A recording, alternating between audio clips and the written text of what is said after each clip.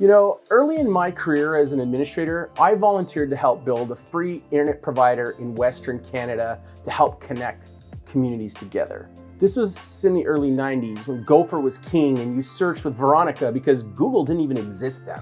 There was an event that helped define who I would become as an administrator. I got locked into a server room and it changed my life forever.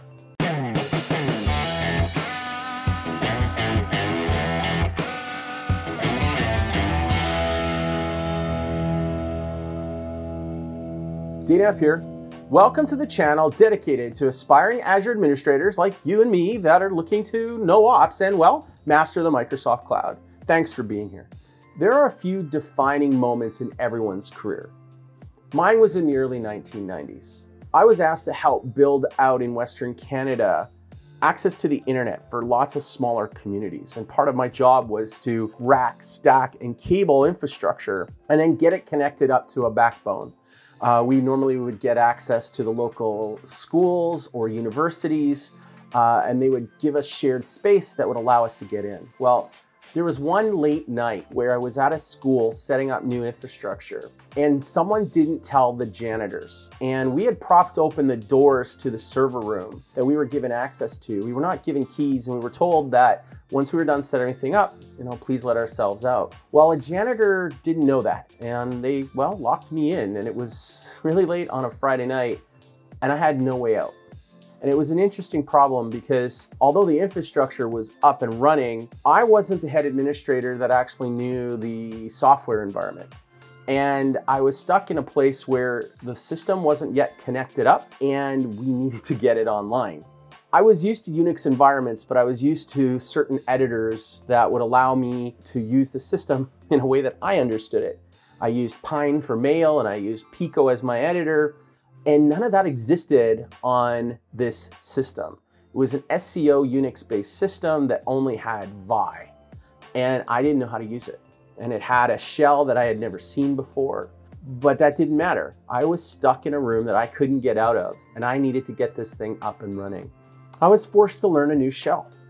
And as part of that, it was a very late night, but I was able to learn Vi, learn the man pages, get the system up and running just enough so that I could get connected to the other infrastructure so that I could wall a message out for someone to come and, and get me out. And that was one of the, my best experiences because I had to learn skills that I now still have with me to this day that I use regularly to give me access to systems that I need.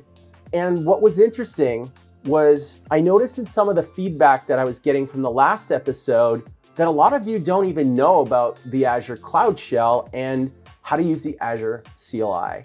And that's really too bad because there's so much power that's available there if you know it and understand it. So I thought maybe today we would go into the Cloud Shell again and I would teach you the basics of how to use the Azure CLI and learn your way around Azure. Okay, so to get started with the Azure Cloud Shell, there's a couple ways we can go about it. Obviously, we can just go up to the browser and head over to shell.azure.com, or another way would be to just click the shell icon inside of the Azure portal. But I want to show you another way to do it where you don't need to get all the overhead of having a browser window always running. And it's a little more streamlined and a little cleaner to work with. And that is to use the Windows terminal on your desktop to connect directly to the cloud head over to the Microsoft Store and install the Windows terminal. When you do that, you'll have this new icon here where if you launch it, it will launch a default PowerShell window for you. But if you take a look, if you click on the drop down arrow, you'll also have the ability to run command or any other shells you might have installed. So you can see here, I like I have Kali Linux because I have WSL installed as well. Um, and of course, here you can see the Azure Cloud Shell. And when you go to launch it for the first time, it's going to need a device login or pro provide a device code. So if we were to just copy this, head over to that browser, it'll give us an option to enter in a device code. So we take that device code that's here,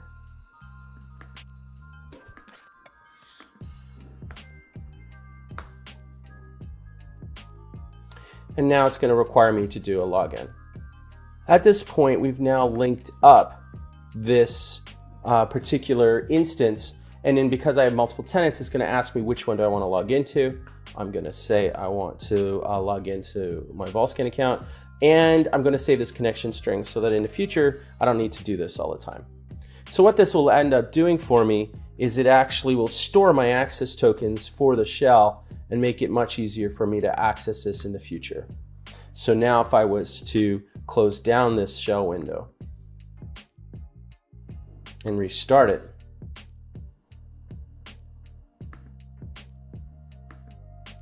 and voila, I now have my shell. And that's a much nicer way to have it because now I have this very lightweight shell environment directly on my desktop. So now that we're in the Azure Cloud Shell directly from my Windows 10, what can we do with it? Well, if you don't know anything about the Azure CLI, the best way to get started is just to typically hit AZ minus H. Microsoft provides a very deep help system, which you can easily access from almost anywhere by just passing in a minus H. So if I do this to get started, what you'll see is a whole bunch of options that we can see um, from the system get-go. And there are a ton of them here. First one I want to show you though is AZ account because that's by far the first thing you'll have to do.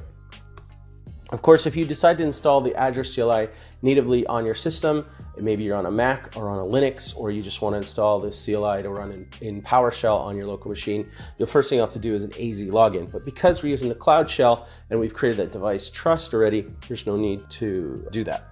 But in our case here, if I wanted to look at our account information, this will tell you that this gives us the ability to manage the different subscriptions that we have tied to this specific tenant. So if I was to type AZ account list. I have the ability to see everything that's there.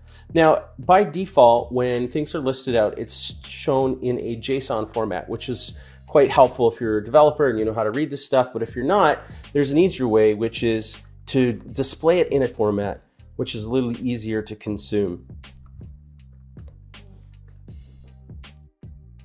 here you can see a bunch of them. And if I wanted to change the subscription, you can see the default one right now is my Visual Studio Enterprise, which is my MSDN account. I'm gonna stick with that one right now, but if I wanted to move across, all I have to do is, is do AZ account set. And of course, if I don't know how to do it, I hit minus H and it will then explain to me what I need to do, such as pass in my subscription ID. Okay, so we've now got our account set up. We've moved into the subscription we want to.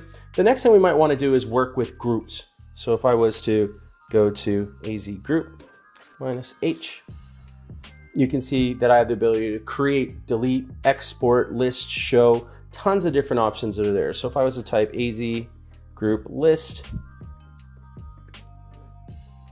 we can see the resource groups that are tied to this specific subscription. And if I wanted to create one, it would be just as easy by going AZ group create. And what you'll notice is if you don't know the commands, again, minus H will show you a list of what's there. Now, you may, may notice that in some cases, they'll use like a minus minus name, but you'll notice that there's a short form where you can use a minus n, and this is very common for a lot of global arguments. So instead of going minus minus resource group, which is a lot of extra keystrokes, you can just do a minus g. So in my case here, let's just create az group create with a name of, let's go with no ops. And then I'm going to have to put it in a location. So minus L West US 2. And now you can see that that has been created for me. Of course, if I wanted to do an AZ resource list, that means to show me all resources in this group Of course, I'll have nothing here because I haven't put anything in there yet. So let's go put some sort of resource in this group so that we can work with it. Um, let's do something like a VM.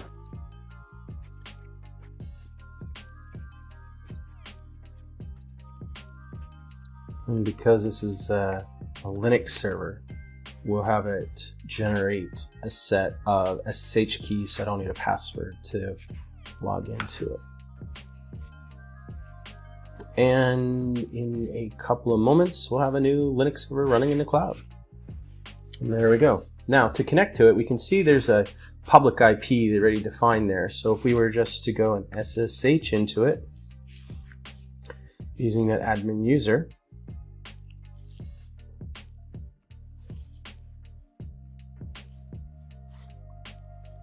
obviously have to trust the RSA keys.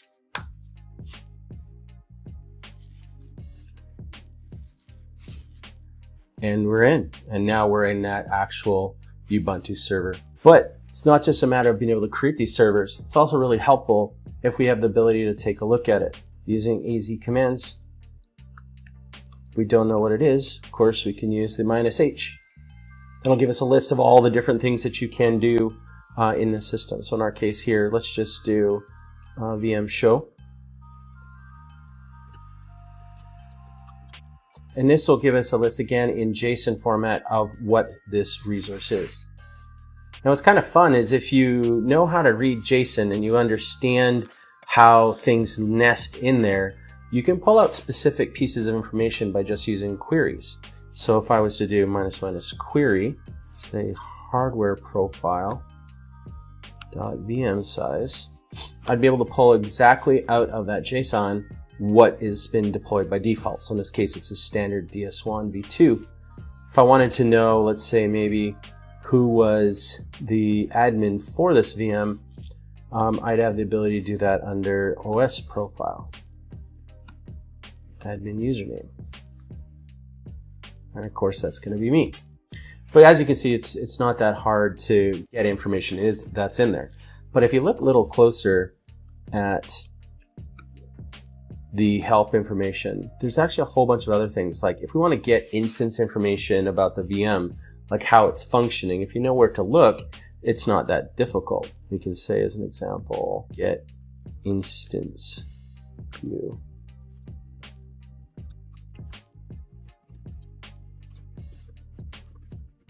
And there happens to be a set of statuses that we want to grab. And we're going to use a minus O table just to make it a little easier to read.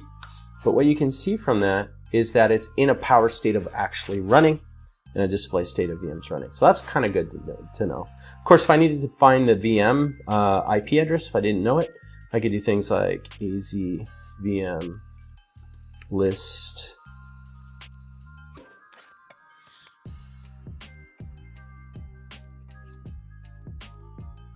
and there we can see that those IP addresses. Of course, if I want to stop a VM,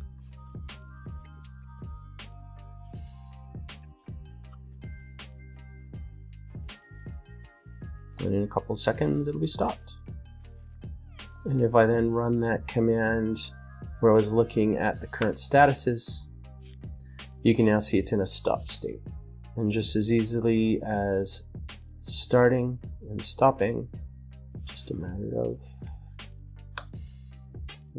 So this is just one example of how to do this with VMs, but you can do this all over the place. So you can do this with web apps. You can do this with your storage accounts. You could do this with your balancers. Everything has an AZ command. And again, it's just a matter of finding out what it is. Just AZ minus H, pipe more, and you can start seeing all the different components that are available, like getting access to your billing or to your bot or to your cache or to your cognitive services. There's just tons of different options available. And I encourage you to continue to look through them and just explore them using the minus H command and just doing a show or a list just to see and explore your own shell environment.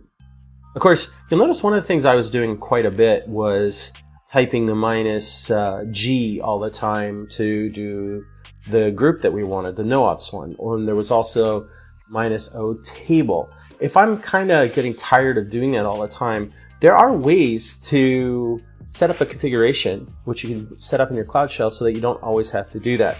And it's located in the dot .azure folder. If you take a look, there's a config file.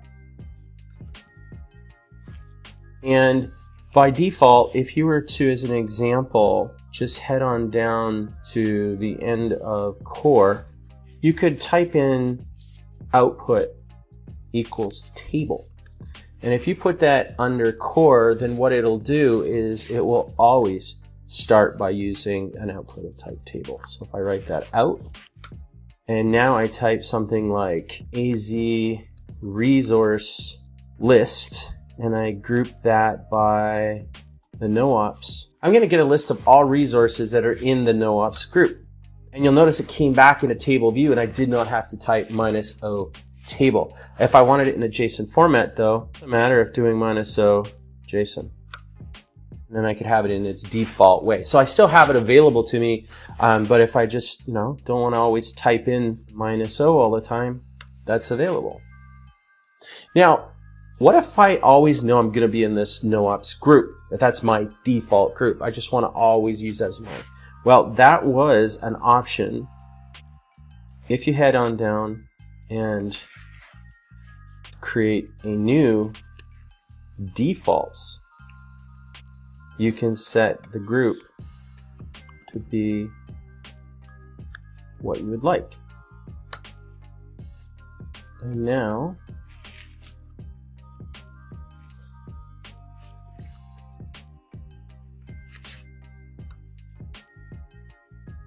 you'll see it automatically use the group I defined as my default and it also did it in an output table. So there's a whole bunch of different commands. You can go look in Microsoft's documentation where you can update the config so you're not always having to type all that out. And we're in a pretty good spot now to be able to do one of my favorite commands. And that's the ability to delete everything in a single pass. AZ group delete minus G no ops. Now here's the thing, if I hit this what's going to end up happening is it will delete everything that is in that specific group. It may take a while since I got to uh, shut down the VM and destroy those VNets and those networks, security groups, and all of the storage and everything related to that. And it's very destructive, but it's an easy way to get going.